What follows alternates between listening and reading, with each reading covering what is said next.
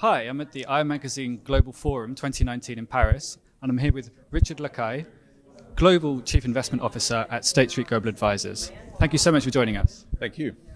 You're speaking on a panel today which covered, you know, a number of different topics, but including passive investment. Wondered if you could give us a bit of a broad overview about what's happening in that area. Um, it's something that IRA is obviously interested in, watching more and more money flow into passive strategies. Is that something that they should expect to continue, or could you know could there be a revival of active investment? Well, indexing's had tremendous growth over the last 30 years or so. Um, and the reason it has, is it's a very good value proposition for the end customer. I think there are many reasons why we'd expect that growth to continue in the future. Uh, but it does place a challenge for IRs because they're a different type of investor and they need to be interfaced with in different ways.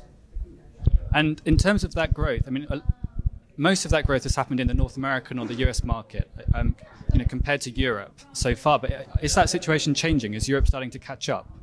Well, as you hear from my accent, I am, I am from Europe. Um, I, we've had an indexing business uh, in the UK and Europe for quite a number of years. I think, like many financial uh, innovations, it, it, started in the US, but it spread pretty rapidly. Uh, so we're seeing rapid growth in Asia, uh, in Europe and elsewhere. And I think that'll continue as, in a sense, particularly wealth management markets catch up with the US. Okay, and I mean, the, the growth of passive investment has led IROs to think more about indices and you know what how you know how their company is covered by different indices where they might be included or not you talk us a bit about that area i mean what are some of the new indices that are being created at the moment but and, and where where is most of the money sitting well, most money is in actually in market cap weighted indices, um, and there's familiar brand names like Standard and Poor's, FTSE, uh, MSCI, that track the world's stock markets. Um, so I think an IR would see on the share register the very large index fund managers, but underneath that, effectively, would be the index family that the, the, the customers there are, are tracking. Um, and the big players like us are tracking many indices for many different clients. Um, it is important to know which index you're in because the index rules might mean ultimately that your company might change either domiciliation or even get deleted from an index. The good news is they're pretty rules based, so it's pretty easy to predict which index you're likely to be in and how material that is for your company.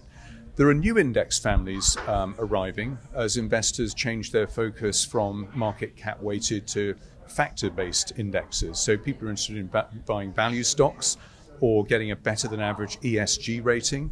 There are specialized indexes that focus on that. Great, and maybe I mean one final question. I mean the question that IROs are asking is what can they do about all this? You know, more money is, um, you know, flowing towards passive strategies. I mean, how can IR sort of engage with that money? Can they?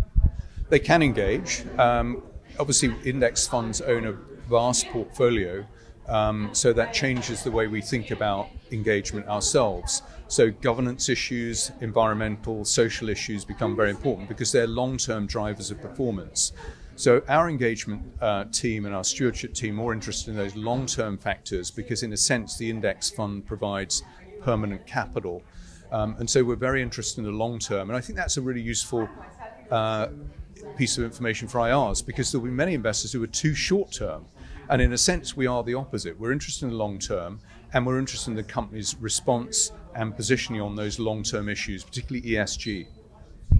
And maybe just uh, you know one additional question just on that topic of ESG. It's come up a lot at the conference here um, this week. It, can you pick up maybe one area within that that you're particularly focused on at the moment? Well, it's industry by industry, and importantly, you, you, need to focus on what's important and material, and that's what the SASB framework is very effective at that. Um, but I think governance is important for all companies, and I think where we look back over the last 30 or 40 years, where we've had real damage to our shareholders, it's been where governance has been weak. So I think that's universal. There'll always be attention. So board diversity, refreshment, policies at board level are very, very important. Great. Well, Richard, thank you so much for talking to us today. Thank you.